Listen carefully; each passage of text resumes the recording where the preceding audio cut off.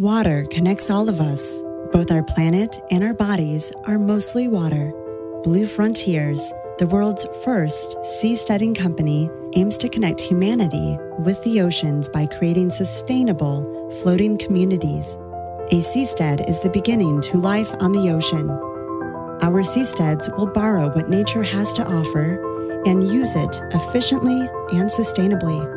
By using sustainable materials and processes, we will collect the water from our villas and reuse it in our gardens, water features, and wetlands. Our greenhouses will grow crops using recycled water and generate energy.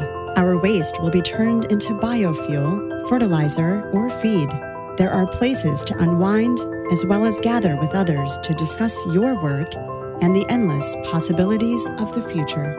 Seasteads provide resiliency against sea level rise. They are the building blocks of new societies, where people try new ideas for living together, new forms of governance, and where nature and technology intertwine. From drop to drop, our seasteads will leave a positive impact on the world. Come join us